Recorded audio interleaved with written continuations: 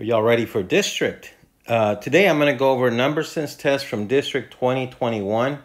And this is a mental mathematics contest. You will only write the answers, make no calculations with paper and pencil.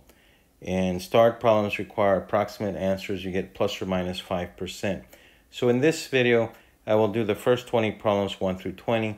And as a bonus, I will do some additional problems from the second column, some special shortcuts now, if you haven't subscribed already, go ahead and subscribe so you can support the channel, and I really appreciate that. Okay, starting with problem number one, 5,080 plus 911. I'm going to add 80 plus 11, that's 91. So I write the 91. And then I'm going to take care of the hundreds. This is 50, 100 plus 900, that's 5,900. So the answer is 5,991. Okay, number two, 2.5 times 1.6. What I'm going to do is I'm going to multiply this one times 10 and divide by 10. So I'm going to have 0.25, which is 1 fourth. 1 fourth of 16 is 4. So the answer is 4. Now throughout this, when I'm explaining, I'm actually writing some numbers here just for the explanation. You're not allowed to write any of these numbers here. So this is mental mathematics. You only write the answer for these, but I will do it just to show you the explanation. Okay, so for number three, 1,141 minus 393. Now, many students are taught to borrow and then borrow and borrow.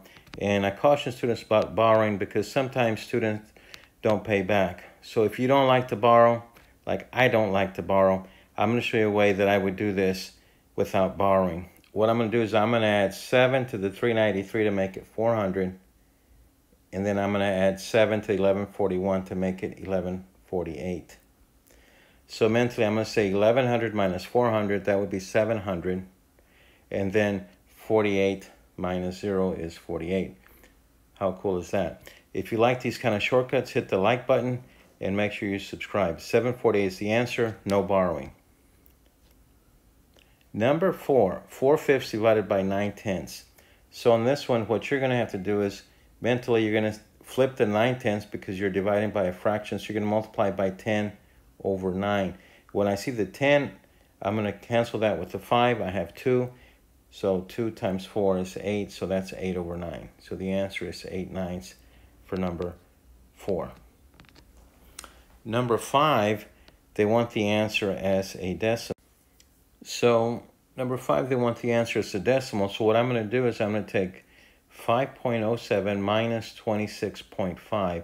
So you notice the answer is going to be negative. So write the negative first so I don't forget. And then I'm going to do uh, 5 minus 26. That would be a negative 21. And then you're going to have uh, 07 minus 50. That's or 50 minus 7. That's 0.43. So your answer there is negative 21.43. Number six, 5 sixteenths is what percent as a mixed number? Remember that 4 sixteenths is 25%. So I need to add 1 16th, and you should memorize 1 16th is 6 and a quarter. So I have 25 plus 6 and a quarter. 25 plus 6 is 31. And we want mixed numbers, so I write 1 fourth.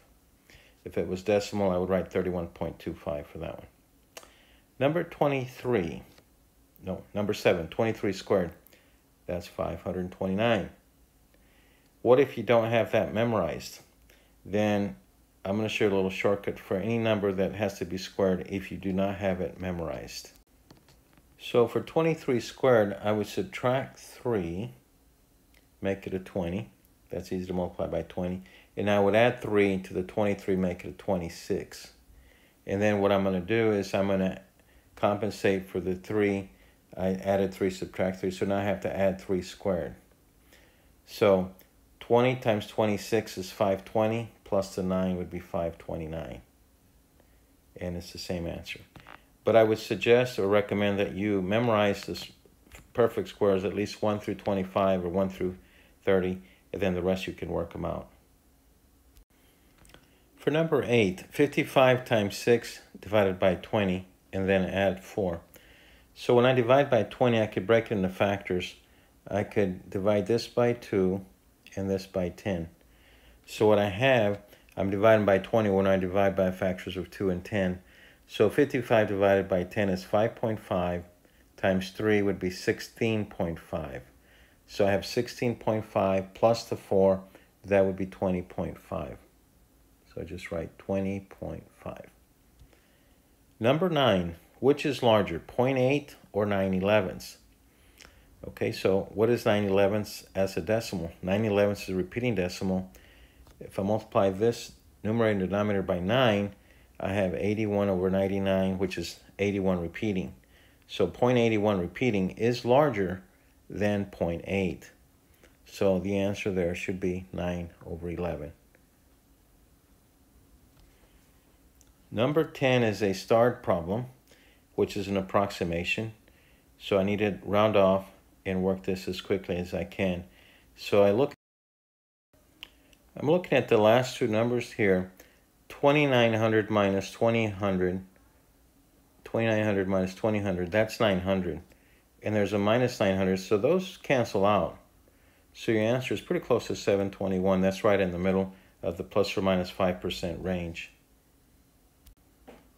Number 11 is 43 squared, which is 1849. Or you can work this out. You can say, well, that's 40, subtract 3, and then add 3 to 43. That would be 46 plus 3 squared. And so 40 times 46, instead of writing a 0 down, you write your 9 for the 3 squared, and then you do 4 times 46. 4 times 46 means you double 46 twice. 46 times 2 is 92. 92 times 2 gives you the 184. Number 12. 30% of 40, that's 12, What's 12 minus 30? That would be negative 18. Now keep in mind, whenever you have a percent, you're dividing by 100, or you could divide that by 10 and divide that by 10, factors of 100. So that leaves you 3 times 4, which is 12, minus the 30. That gives you negative 18. Okay, number 13 is a remainder problem. 152 squared divided by 8 has a remainder of what? Well, there's no way you're going to square 152 and try to figure out the remainder. There's got to be a little shortcut here. What is the remainder when you take 152 divided by 8? Well, the remainder is 0. And then 0 squared is 0. So the answer is 0. Now, how do you know that 152 has divided by 8 has remainder 0? Well, what I'll do is I'll add 8 to 152 and I get 160, which is a multiple of 8. So 160 divided by 8 has remainder 0. 152, which is 160 minus 8, also has remainder 0. So, and then 0 squared equals 0. So that's a neat little shortcut there. Number 14, find the arithmetic mean, that's the average, for 41, 46, 57. Many students will add 41, 46, 57 and divide it by 3. That's how you were taught. However, it might be easier to pick a base here I'm going to pick a base of 40 since I'm figuring the answer has to be 40 plus something. So this is 1 more than 40. This is 6 more than 40. This is 17. So what I'm doing is I'm going to average the numbers over 40. 1 plus 6 is 7, plus 17 is 24. 24 divided by 3 is 8. So then I add 8 back to my base of 40. So the answer here should be 48. So for number 14, the answer is 48. Number 15, you have Roman numerals added together and give you an Arabic numeral. The Arabic numerals are regular numbers like 1, 2, 3, 4. So I have an M, which is a 1,000, and I have a D here and a D there. That's 500 plus 500. That's 2,000. So I'm going to have 2,000 and something. So I'm going to write my 2,000. And then I take care of the 100. C is 100. And L is 50. So I have 150 plus 20, it's 170, plus the 9, that would be 179.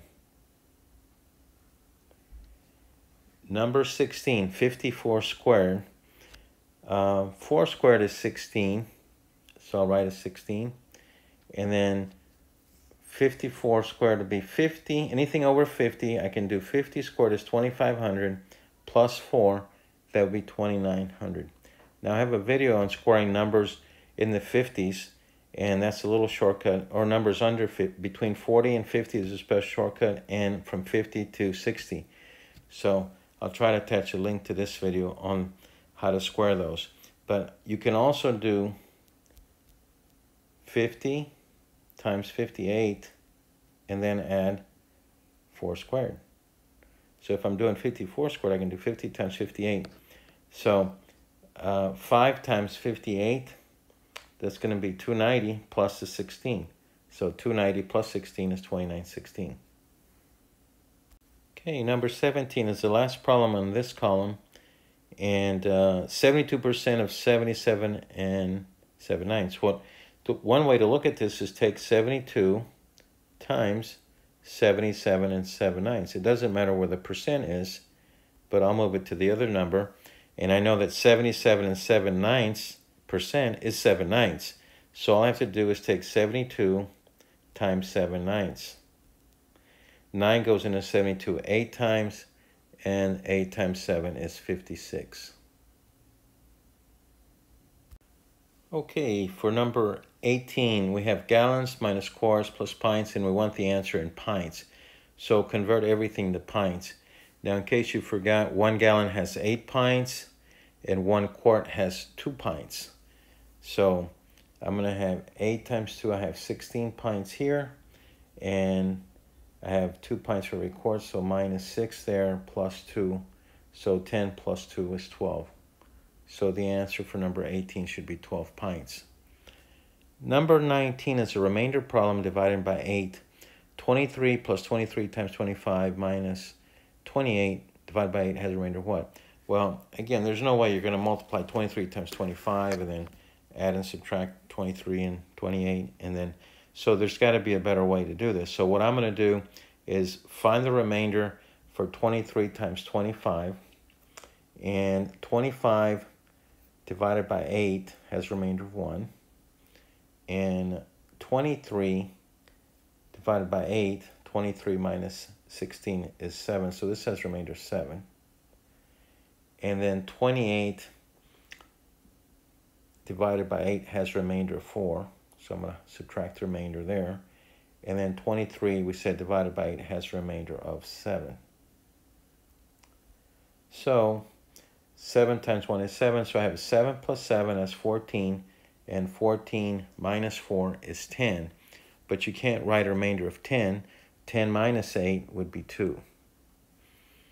So the largest remainder you can have is 7 when you're divided by 8. So all I'm doing is find the remainder for each of those and then you add and multiply and subtract the remainders as whatever you get.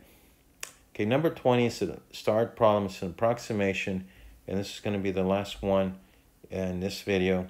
I will give you some bonus problems from the rest of the test if you hang on to the end here. Uh, 528 times 1930 divided by 731 equals what as an approximation.